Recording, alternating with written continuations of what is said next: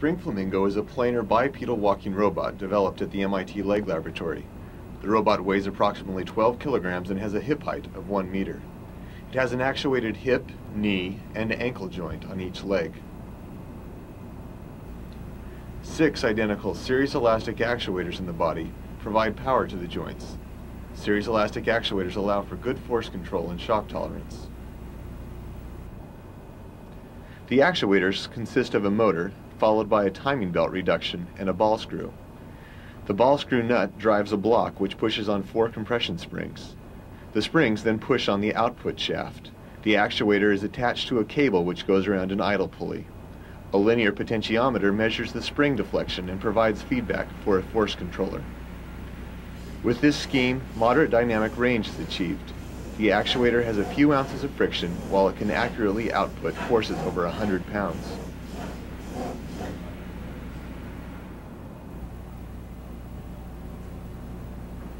When the actuators are off, there is significant joint friction. But when the actuators are commanded to output zero force, joint friction is greatly reduced.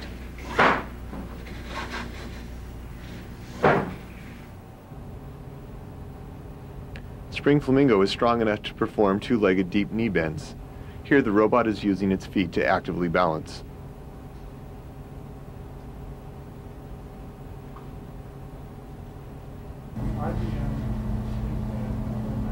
Spring Flamingo is constrained to walk around a circle with a 15 meter perimeter.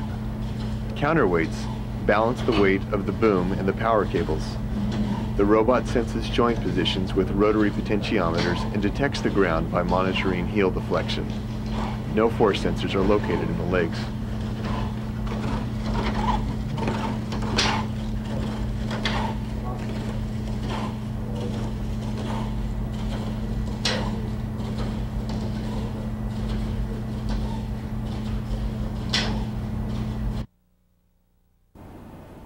Spring Flamingo's walking algorithm consists of intuitive control strategies which control height and pitch, ensure proper support transitions in swing leg placement, and control forward walking speed.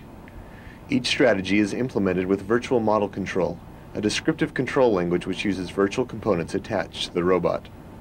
With virtual model control, torques are commanded at the joints to make the robot behave exactly as if the virtual components are really there. The strategy for height control is to maintain a straight stance leg by applying a vertical force on the body larger than its weight. A virtual damper is used to reduce bouncing, while a physical kneecap prevents the knee from inverting. Level pitch is maintained with a virtual torsional spring damper mechanism connected to the body through the stance leg. A simple state machine is used to ensure proper support transitions for the walking gait. The robot can either be in left support, right support, or double support. Single support to double support transitions occur when the body travels a certain distance in front of the support leg. Double support to single support transitions occur when the body travels over the next support leg. The swing leg is servoed somewhat to mirror the stance leg and set down at approximately the desired stride length. A virtual spring damper mechanism is attached between the foot and the body with the spring set point changed in order to servo the swing leg. Several strategies are used for forward speed control. Each of these strategies relies on the observation that when the center of mass is in front of the foot center of pressure, the robot accelerates, and when the center of mass is behind the foot center of pressure, the robot decelerates.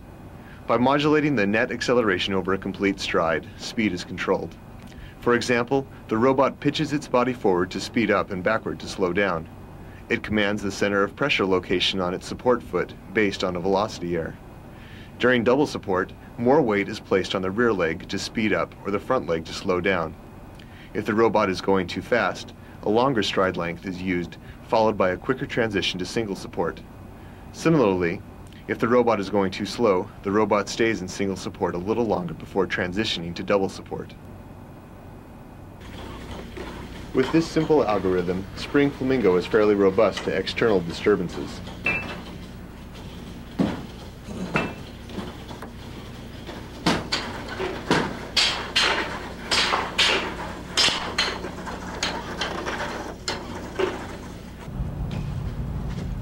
Spring Flamingo walks over moderately cluttered terrain without detecting it or explicitly adapting to it.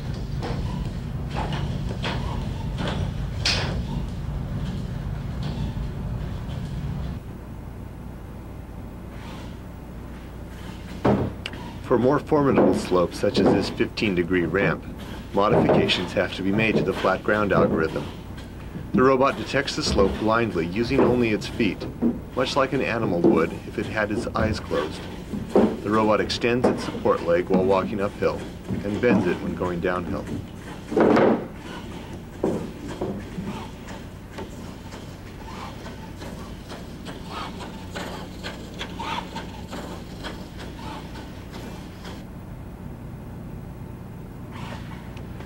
Here, the robot uses the same algorithm to walk over rolling terrain consisting of alternating 15 degree upslopes and downslopes.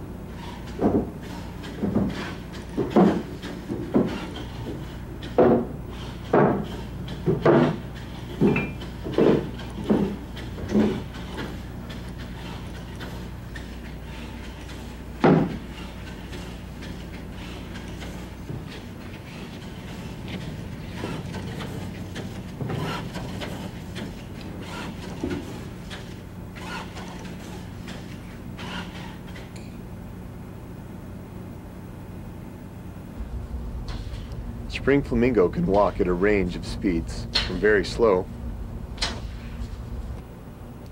to moderate human walking speed. The robot's top speed, while still maintaining coordination, is 1 meter per second, as seen here.